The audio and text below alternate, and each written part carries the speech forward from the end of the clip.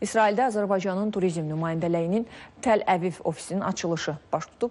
Ofisin açılışında iştirak edən Dövlət Turizm Agentliyinin sədri Fuad Nağıyev çıxışı zamanı Yəhudi irsinin bugünədək Bakı, Quba, İsmayıllı, Oğuz və digər rayonlarda qorunub saxlanıldığını, Qubada yerləşən Qırmızı qəsəbənin dünya üzrə İsraildən kənarda dağ yəhudilərinin kompakt şəkildə yaşadığı yeganə yer olduğunu qeyd edib. İsrailin turizm naziri Yoel Razvozov bildirib ki, Təl-Əviv ofisinin açılışı Azərbaycanla İsrail arasında iki tərəfli münasibətlərin daha da möhkəmlənməsinə, turizm əlaqələrinin genişlənməsinə xidmət göstərəcək.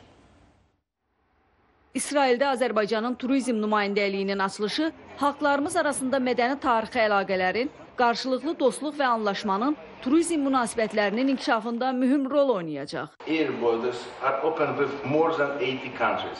Hazırda hava nəqliyyatı vasitəsilə 80-dən çox ölkənin vətəndaşı COVID pasport və PCR testinin neqativ nəticəsini təsdiq edən rəsmi sənədi təqdim etməklə Azərbaycana səfər edə bilər. İsrail də bu ölkələr arasındadır. Beləliklə mən sizi Azərbaycana turist kimi səfər edərək evdən kənarda özünüzü evinizdəki kimi hiss etməyə dəvət edirəm. Səfər çərçivəsində Dövlət Turizm Agentliyi ilə İsrail Turizm Nazirliyi arasında turizm sahəsində əməkdaşlıq haqqında sazişlə imzalanıb.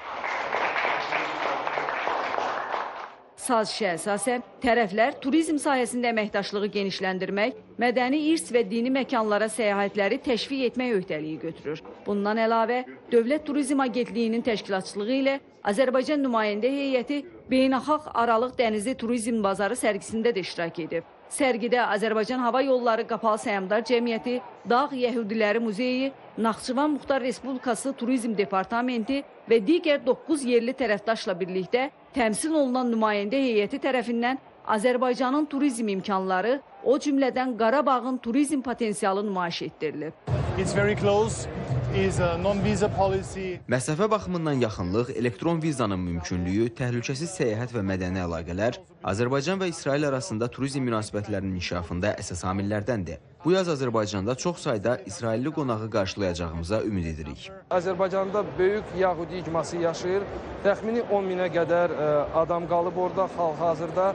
O dağ yəhudilərdən və Aşkenazi başqa yəhudilərdən ibarətdir. Xatırladaq ki, 2019-cu ildə Azərbaycana səfər edən İsrail vətəndaşlarının sayı 47 min nəfər təşkil edib. Bu da 2018-ci illə müqayisədə 17,3 faiz artım demək idi. Pandemiya dövründə bu say kəskin azalsa da, 2021-ci ildə sərhədlərin tədricən açılması ilə davamlı şəkildə artmağa başlayıb. Zümrüd Tahir qızı, ATV xəbər.